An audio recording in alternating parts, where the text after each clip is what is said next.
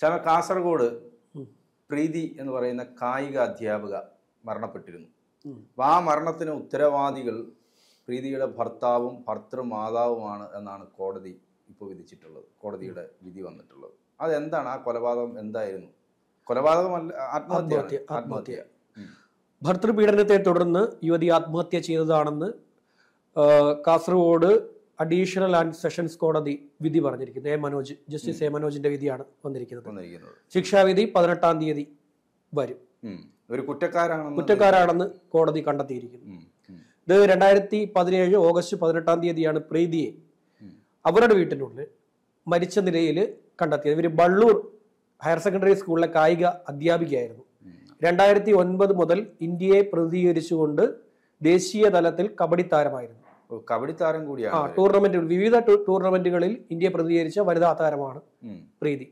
അത്തരത്തിലൊരു താരത്തിനാണ് ഒടുവിൽ ഒരു കഷ്ണം തുണി തുണി ജീവൻ അവസാനിക്കുന്നത് വീടിലെ സ്റ്റെയർ കേസിൽ തൂങ്ങിയ നിലയിലായിരുന്നു. അത് തന്നെ വളരെ സംശയകരമായിരുന്നു. കാരണം വീട്ടിൽ ആളില്ല എന്നിരിക്കെ വീട്ടിലെ സ്റ്റെയർ കേസിന്റെ കമ്പിയിലാണ് ഇവർ തൂങ്ങി മരിച്ചത്. ഇവരുടെ വീട്ടിലാണ്? ഇവരുടെ വീടിന്റെ. പ്രീതിയുടെ വീട്ടിൽ. പ്രീതിയുടെ വീട്ടിൽ. ഭർത്താവിന്റെ വീട്ടിലല്ല. പ്രീതിയുടെ വീട്ടിലെ ഷെയർഗേസിലെ കമ്പിയിൽ വരെ തൂങ്ങിയ നിലയിലാണ്. തൂങ്ങി മരിച്ച നിലയിലാണ് കണ്ടെത്തിയത്. അപ്പോൾ ഈ മരിക്കുന്നതിന് രണ്ട് ദിവസം മുമ്പ് തന്നെ ഇവരുടെ വീട്ടിലേക്ക് ഭർത്താവ് രാഗേ രാകേഷ് കൃഷ്ണ വന്നിരുന്നു. ഈ രാകേഷ് കൃഷ്ണ വരികയും അവിടെ വന്ന് ഇയാൾ പ്രീതിയുമായി വഴക്കുണ്ടാക്കുകയും ചെയ്തിരുന്നു. ഈ വഴക്കുണ്ടാക്കിയ ശേഷമാണ് ഈ കുട്ടിയെ മരിച്ച നിലയിൽ രണ്ടു ദിവസത്തിന് ശേഷം വീടിനുള്ളിൽ കണ്ടെത്തുന്നത്. വീട്ടിൽ നിന്നും പുറത്തുപോയ അമ്മ തിരിച്ചെത്തിയപ്പോഴാണ് ഇയാൾ ഈ കുട്ടിയെ മരിച്ച നിലയിൽ തൂങ്ങി മരിച്ച നിലയിൽ കണ്ടെത്തിയത്. അതിൽ വലിയ സംശയം. അന്ന് തന്നെ ഇവരുടെ ബന്ധുക്കൾ ഉയർത്തിയതാണ്. ഈ കുട്ടിയുടെ മരണത്തിൽ ദുരൂഹതയുണ്ട്. വീട്ടിൽ ആളില്ലെങ്കിൽ പ്രീതി മനോവിഷമത്തിലായിരുന്നു എന്നുള്ളത് ശരിയാണ്. മനോവിഷമത്തിലായിരിക്കുന്ന കുട്ടി എന്തിനാണ് സ്റ്റെയർ കേസിന്റെ കമ്പിൽ കയറി തൂങ്ങുന്നത്? അതെ. അതാണ് പ്രധാനമായും. വീട്ടുകാർ ഉന്നയിച്ച ഒരു പ്രശ്നം. പിന്നെ രണ്ട് ദിവസങ്ങൾക്ക് മുമ്പ് തന്നെ ഈ രാകേഷ് കൃഷ്ണ അവിടെ വന്ന് പ്രശ്നം ഉണ്ടാക്കിയിട്ടുണ്ട് എന്നും പറയുന്നുണ്ട്. അപ്പൊ ഇതിലെ പ്രതികളെന്ന് പറയുന്നത് പിന്നെ മാങ്ങോട് സ്വദേശിയായിട്ടുള്ള രാകേഷ് കൃഷ്ണ. രാകേഷ് കൃഷ്ണയുടെ അമ്മ ശ്രീലത. പിന്നെ അതുപോലെ തന്നെ ഈ രാകേഷിന്റെ പിതാവ് രമേശൻ. അയാളും ഉണ്ട്.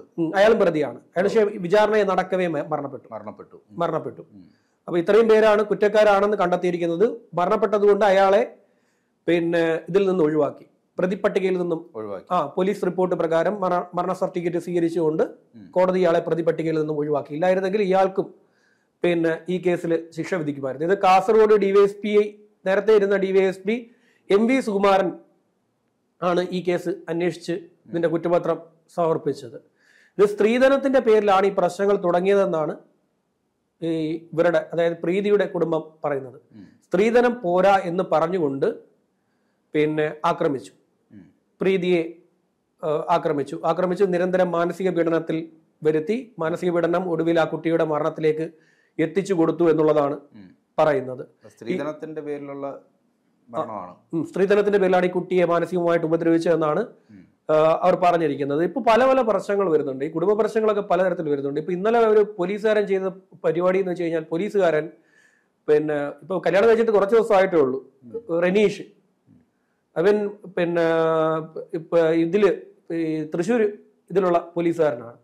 ഇവനെ റനീഷിനെ ശ്രദ്ധിച്ചിട്ടുണ്ടോ? അവൻ സ്ഥിരമായിട്ട് പോലീസിന്റെ ഔദ്യോഗിക സൈറ്റ് ഒക്കെ വഴി ബോധവൽക്കരണത്തിൽ വരുന്നവനാണ് ഈ റനീഷ്. അറിയാം അറിയാം അറിയാം അറിയാം. ഉം. അറിയാം മനസ്സിലായോ. ഭയങ്കര ഫേമസ് ആയി ആൾ. ഈ റനീഷ്. ഫേമസ് ആയതുകൊണ്ട് വീഡിയോസ് ഒക്കെ കണ്ട് കണ്ടു കാണും.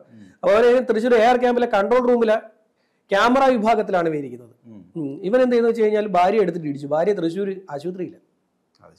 ഈ ബോധവൽക്കരണം നടത്തുന്ന ആളാണ് ഭാര്യ. അതെ അതെ. അത് ഗാർഹിക പീഡനം. ഗാർഹിക പീഡനം. ഭാര്യയെ ഇടിച്ച് പരിവാക്കി കളഞ്ഞു. ഇടിച്ച് പരിവാക്കി കളഞ്ഞു. ഇടിച്ച് പരിവാന്ന് വെച്ച് കഴിഞ്ഞാൽ കുട്ടിയുടെ ചെവിയിൽ നിന്നൊക്കെ ചോര വന്നു. അയ്യോ. ഇടിച്ച് ചോ ചെവിയിൽ നിന്നൊക്കെ ചോര വന്നു. ഇവന്റെ ഉത്ബോധന പ്രസംഗമൊക്കെ കേൾക്കണം. ഭയങ്കര ഉപദേശമാണ് അന്നിരുന്ന് ഭയങ്കര ഉപദേശം. അതായത് അങ്ങനെ ചെയ്യണം ഇങ്ങനെ ചെയ്യണം. പോലീസിന്റെ ബോധവൽക്കരണത്തിന്റെ മെയിൻ കക്ഷിയാണ്. വളരെ ഫേമസ് അവൻ. ഭാര്യ വീഡിയോ കാണാറില്ലേ? ഇടിച്ച് ആൾക്കാട്ടുകാരെല്ലാം ഭയങ്കര ഉപദേശവും. ഇതും പിന്നെ ഒരു സൈഡിൽ ഉപദേശം മറ്റൊരു സൈഡിൽ മറ്റൊരു പരിപാടി. ഇതാണ് അതെ, നമുക്ക് പറയാൻ പറ്റത്തില്ല പരിപാടി എന്താണെന്ന്. ഏ. അപ്പൊ ഗാർഹിക പീഡന നിരോധന നിയമപ്രകാരം പോലീസ് ഇതിനകത്ത് കേസ് എടുത്തിട്ടുണ്ട്. ഇവരെ സസ്പെൻഡ് ചെയ്തിരിക്കുക. നിലവിൽ ഇവനെ സസ്പെൻഡ് ചെയ്തിരിക്കുക. പക്ഷെ ഇവന് കോടതി ജാമ്യം കൊടുത്തു. അത്? റിപ്പോർട്ട് സ്ട്രോങ് അല്ല. പോലീസുകാരനല്ലേ? പോലീസുകാരനല്ലേ? പോലീസിന് ഉന്നത ഉദ്യോഗസ്ഥർക്കൊക്കെ വളരെ വേണ്ടപ്പെട്ട ആളാണ്. വേണ്ടപ്പെട്ട ആളായതുകൊണ്ട് ജാമ്യം കൊടുത്തു. മറ്റേ റിപ്പോർട്ട് സ്ട്രോങ് അല്ലാത്ത റിപ്പോർട്ട് കൊണ്ടുപോയി കൊടുത്തു. ആ കുട്ടി ഇപ്പോഴും ആശുപത്രിയില്ല ഇടിയുണ്ട്. ഇടിച്ച് പരിവാക്കി കളഞ്ഞു വെച്ചിട്ട്. അതും കല്യാണം കഴിച്ചിട്ട് കുറച്ച് ദിവസമായിട്ടേ ഉള്ളൂ. ഒരു മാസം പോലും ആയിട്ടില്ല. അത് ശരി. ഒരു മാസം പോലും ആകുന്നതിന് മുമ്പേ അപ്പൊ ഇയാളെ യഥാർത്ഥത്തിൽ ഒരു ക്രിമിനലാണ് ക്രിമിനൽ ആണ്. അത് നമ്മൾ ഈ മുഖംമൂടിയാണെന്ന് ഇത് പലതും. പലതും മുഖംമൂടി അണിഞ്ഞിട്ടുള്ള പരിപാടികളല്ലേ നടത്തുന്നത്. മുഖംമൂടി അണിഞ്ഞ് മുന്നിൽ വന്ന് നിൽക്കുന്നവരാണ് പലരും. നമ്മളെ ഭൂരിഭാഗം പേരെ നമ്മൾ കാണുന്ന പോലൊന്നുമല്ല. അപ്പം നേരത്തെ തന്നെ സർവീ പിന്നെ തൃശ്ശൂർ പിന്നെ ഇത് എസ് പി ഇയാളെടുത്ത് കളഞ്ഞു. സർവീസ് മറ്റേ ഇതിൽ നിന്ന് എടുത്ത് സസ്പെൻഡ് ചെയ്ത് കളഞ്ഞു. ഇനിയിപ്പോൾ അടുത്ത പരിപാടി ഇത് പിന്നെ റിപ്പോർട്ട് കാര്യമായ റിപ്പോർട്ട് കൊടുത്തില്ലെങ്കിൽ സർവീസിൽ തിരിച്ചു വരും. തിരിച്ചു വരും. തിരിച്ചു വരും. തിരിച്ചു വന്നിട്ട് വീണ്ടും ഉപദേശം തുടങ്ങും. ഇവന്റെ ഉപദേശം നമ്മൾ നിന്ന് കേൾക്കേണ്ടിയും വരും കേൾക്കേണ്ടി വരും. പ്രണീഷിന്റെ. അത് വേറെ എപ്പിസോഡായിട്ട് എടുക്കേണ്ടതായിരുന്നു. സമയമില്ലാത്തത് കൊണ്ടാണ് ആ വിഷയം വിട്ടത്. അപ്പം ഈ പ്രീതി എന്ന് പറയുന്നത് നമ്മുടെ എന്താ പറയാ നമ്മുടെ കായിക കേരളത്തിലെ കായിക രംഗത്തിന് ഒരു അസറ്റായിട്ടുള്ള. പെൺകുട്ടിയായിരുന്നു. ഒരു അസറ്റായിരുന്നു അവർ. കാരണം അവരൊരു കായിക അധ്യാപികയാണ്. ആ ഒരു കായിക അധ്യാപികയ്ക്ക് അങ്ങനെ സംഭവിക്കുമ്പോൾ ഉണ്ടാകുന്ന ഒരു കാര്യം ഒട്ടനവധി കുട്ടികൾക്ക് വനിതാ താരങ്ങൾക്ക് ഉയർന്നു വരേണ്ട വനിതാ താരങ്ങൾക്ക്. അങ്ങനെ പറയാൻ പറ്റൂ. ഈ കായിക രംഗത്തൊക്കെ കാസർഗോഡ് ജില്ലയെ സംബന്ധിച്ചിടത്തോളം കായിക രംഗത്തൊക്കെ അവർക്ക് ഇനിയും മുന്നേറാനുണ്ട്. ആ കായിക രംഗത്തെ അവരെ വളർത്തിക്കൊണ്ടുവരേണ്ട അവർക്ക് ഇത് ചെയ്യേണ്ട ഒരാളെയാണ് ഈ പറയുന്ന രാകേഷ് കൃഷ്ണ എന്ന് പറയുന്ന ഒരുത്തന്റെ കൈ പെട്ടതുകൊണ്ട് മാത്രം ആ കുട്ടിക്ക് ജീവൻ കൊടുക്കേണ്ടി വന്നു. അതായത് അവർ അത്ര കടുത്ത മാനസിക പ്രയാസം കായിക അധ്യാപകർ അല്ലെങ്കിൽ കായിക താരം എന്നൊക്കെ പറയുന്നത് ഈ സ്ട്രെയിൻ അതിജീവിക്കാൻ അത്രയും ട്രെയിനിങ് കിട്ടിയിട്ടുള്ള ആളുകളാണ്. അപ്പൊ അവർക്ക് പോലും അത് പറ്റിയില്ല എന്നുള്ളതാണ്. പറ്റിയില്ല എന്നുള്ളതാണ്. അത് ഈ സംഭവം എന്ന് വെച്ച് കഴിഞ്ഞാൽ ഈ സംഭവം ഉണ്ടാകുന്നതിന് ഏതാണ്ട് മൂന്ന് മാസം മുമ്പ് തന്നെ ഈ സ്ത്രീ വീട്ടിലേക്ക് പോയതാ. സ്വന്തം വീട്ടിലേക്ക് താമസം. താമസം മാറിയതാ. താമസം മാറിയിട്ട് ഇവൻ അവിടെ പോയി പ്രശ്നം ഉണ്ടാക്കിക്കൊണ്ടേയിരിക്കുകയായിരുന്നു. അവിടെ കൊണ്ടുപോയി പ്രശ്നം ഉണ്ടാക്കിക്കൊണ്ടിരുന്നത് കൊണ്ടാണ് ആ കുട്ടിക്ക് ആത്മഹത്യ ചെയ്യേണ്ട പ്രശ്നം ഉണ്ടായത്. നമ്മൾ ഈ കുടുംബ പ്രശ്നമൊക്കെ ഉണ്ടാകുന്നെങ്കിൽ മാക്സിമം ഏറ്റവും നല്ലതെന്ന് വെച്ച് കഴിഞ്ഞാൽ ഡിവോഴ്സ് ചെയ്ത് മാറിപ്പോകും ഡിവോഴ്സ് ചെയ്തേക്കുക. നിങ്ങൾ ഒത്തുപോകാൻ പറ്റുന്നില്ലെങ്കിൽ പിന്നെ ഡിവോഴ്സ് പിന്നെ സമാധാനത്തോടെ ആയിട്ട് രണ്ടുപേർക്കും സമാധാനത്തോടെ സമാധാനത്തോടെ രണ്ടുപേർക്കും ജീവിക്കാൻ സാധിക്കും. രണ്ടുപേർക്കും മറ്റൊരു ജീവിതം ലഭിക്കും. ലഭിക്കും. ജീവിതം ഇങ്ങനെ മുന്നോട്ട് പോയിക്കൊണ്ടേയിരിക്കും. ചേട്ടാ ഇത് എവിടെയും അവസാനിക്കുന്ന എന്താ പറയാ? ഇത് എപ്പോൾ അവസാനിക്കുമെന്ന് നമ്മുടെ കയ്യിലുള്ള ഒരു സാധനമല്ലല്ലോ. നമ്മുടെ ജീവിത ഇതെന്ന് പറയുന്നത് നമ്മളിങ്ങനെ ഒരു പാതയിലൂടെ നടന്നുകൊണ്ടേയിരിക്കും. ആ പാതയിലൂടെ ഇങ്ങനെ നടന്നുകൊണ്ടേയിരിക്കുമ്പോൾ ഉണ്ടാകുന്ന ബ്ലോക്കുകളൊക്കെ അതിജീവിച്ച് മുന്നോട്ട് പോയിക്കൊണ്ടേയിരിക്കുക. അപ്പൊ നമുക്ക് ഒത്തുപോകാൻ പറ്റുന്നില്ല എന്നുണ്ടെങ്കിൽ അതിൽ ഏറ്റവും ഇതൊരു ഡിവോഴ്സ് എന്ന് പറയുന്ന ഒരിക്കലും തെറ്റായിട്ടുള്ള കാര്യമേ അല്ല. വളരെ നല്ലൊരു പ്രവൃത്തിയാണ്. ഒത്തുപോകാൻ പറ്റാത്തവരൊക്കെ ഡിവോഴ്സ് ചെയ്ത് വേറെ വഴിക്ക് പോകും. അല്ലാതെ ഇതിന്റെ പിന്നെ കിടന്ന് അതിനകത്ത് കിടന്ന് അതിന്റെ പുറകിന് പോയി. തമ്മിലടിച്ച് പിന്നെ പിന്നെ ഞാൻ ജീവിതം ഇല്ലാതാക്കുക. ജ- ജീവിതം ഇല്ലാതാക്കുക. കുറെ പേര് എന്താണെന്ന് വെച്ച് കഴിഞ്ഞാൽ കുറെ പേര് ഈ പറയുന്ന പോലെ ഇതിന്റെ ദുഃഖത്തിൽ ഈ ബാറിപ്പോയി കിടക്കും. കുറെ പേര് വേറെ വല്ലയിടത്തും ഒക്കെ ഉം. ഏർ, സ്ത്രീകളാണെങ്കിൽ അവർ എന്താ പറയുക ഇപ്പൊ ഈ പറയുന്ന പോന്നവന്മാരെയൊക്കെ കുറച്ചുകൂടെ എന്നാ പിന്നെ കുറച്ചുകൂടെ പോട്ടെ ടൈറ്റ് ചെയ്യാന്ന് വിചാരിച്ചിട്ട് കുറച്ചുകൂടെ അവന് പ്രഷർ കൊടുക്കാൻ പറ്റുമെങ്കിൽ അങ്ങനെ ചെയ്യുന്ന സ്ത്രീകളും ഉണ്ട്. നമ്മളെല്ലാവരും നമ്മളെല്ലാവരെയും ന്യായീകരിക്കുന്നില്ല ഈ എന്നാ ഈ പോകുന്നവരെ എന്നാ പിന്നെ പരമാവധി അവരെ ഉപദ്രവിച്ചേക്കാന്ന് ചിന്തിക്കുന്ന സ്ത്രീകളും. നാട്ടിൽ ഇഷ്ടം പോലെ നാട്ടിൽ ഇഷ്ടം പോലെ ഉണ്ട് അവനിട്ട് കൊടുക്കാത്ത പണി മൊത്തം അവനിട്ട് കൊടുക്കണം എന്ന് വിചാരിക്കുന്നവരും ഒരു കാലത്ത് ഒരു കാലത്ത് ഗതി പിടിക്കുന്നത് അവനെ അടവടலாம் പൂട്ടിക്കളയണം. പൂട്ടിക്കളയണം. എന്ന് വിചാരിക്കുന്ന സ്ത്രീകളും കുറവല്ല. അപ്പൊ ഇങ്ങനെയുള്ള കാര്യങ്ങൾ ഉണ്ടാകുമ്പോൾ ഈ ചെയ്തങ്ങ് വിട്ടേക്കുക. ഡ്യൂസ് ചെയ്ത് വിട്ടേക്കുക. ഇനി പിന്നെ എന്തിനാ ഈ പ്രീതിയുടെ പുറകെ പോയി? അവർ കായിക അധ്യാപിക അപ്പൊ അവൻ ചെയ്തൊരു അവന്റെ പ്രവൃത്തി കാരണം നഷ്ടപ്പെട്ടത് അവർ ഈ പ്രീതിയുടെ കുടുംബത്തിന് മാത്രമല്ല. അവർ പഠിക്കുന്ന പഠിപ്പിക്കുന്ന സ്കൂളിലെ എത്രയോ കുട്ടികൾക്കാണ് അവസരം നിഷേധിക്കപ്പെട്ടത്. അവർ കാരണം അവരൊരു നല്ല കായിക അധ്യാപികയാണെന്നാണ് നമ്മൾ കേട്ടിട്ടുള്ളത്. പ്രീതി ഒരു നല്ല കായിക അധ്യാപികയായിരുന്നു. അപ്പൊ അത്തരത്തിലൊരു നല്ല കായിക അധ്യാപികയെ ഒരു കുടുംബ പ്രശ്നത്തിന്റെ പേരിൽ ഇല്ലാതാക്കപ്പെട്ടു എന്ന് പറയുന്നത് നമുക്ക് അത് അംഗീകരിക്കാൻ പോലും പറ്റാത്ത കാര്യമാണ്. അത്. കോടതി ആ ലെവലിൽ എടുത്തു എന്നതാണ് മനസ്സിലാക്കേണ്ടത്. കോടതി ആ രീതി ലെവലിൽ തന്നെ എടുത്തു. ഇപ്പൊ കോടതി ജീവരി എന്ന് ശേഷിക്കും? ഗാർഹിക പീഡനോ? ജീവരി എന്ന് കൊടുക്കും. ജീവരി എന്ന് അടിച്ചു കൊടുക്കും? മാനസിക പീഡനം ഗാർഹിക പീഡനം ആത്മഹത്യാ പ്രേരണ. ഇതെല്ലാം കൂടെ ചേർത്തിട്ട് എല്ലാവരും ചേർത്തിട്ട് ജീവരി അടിച്ച് കൈ കൊടുക്കും എന്നും കിടക്കേണ്ടി വരും. മേൽക്കോടതിയിലെങ്ങാനും പോയിട്ട് ഊരിക്കൊണ്ട് വരാൻ പറ്റുമെന്ന് പറയാൻ പറ്റില്ല. കേസിന്റെ ഷീറ്റൊക്കെ വായിച്ചാലേ നമുക്ക് മനസ്സിലാക്കാൻ പറ്റുള്ളൂ. പറ്റുള്ളൂ. നിലവിൽ കോടതി തന്നെ വൈകാരികമായിട്ട് വൈകാരികം എന്നല്ല കോടതി തന്നെ വളരെ ഗൗരവമായി എടുത്തു. ഗൗരവമായി എടുത്തത് കൊണ്ടാണ് രാകേഷിനെ പിടിച്ച്. ഇപ്പൊ ഓണകാലം കുറ്റക്കാരൻ വിധിച്ചു കഴിഞ്ഞാൽ പുറത്തിറങ്ങാൻ പറ്റൂല. അതറിയോ? ഈ രാകേഷ് എന്താ ജോലി? അവൻ ജോലി എന്താണെന്ന് അറിയില്ല. ജോലി എന്താണെന്ന് അറിയില്ല. ജോലി എന്താണെന്ന് അറിയാൻ അറിഞ്ഞാലും അറിഞ്ഞില്ലെങ്കിലും അവസാനം അടിസ്ഥാനപരമായി സൈക്കോ.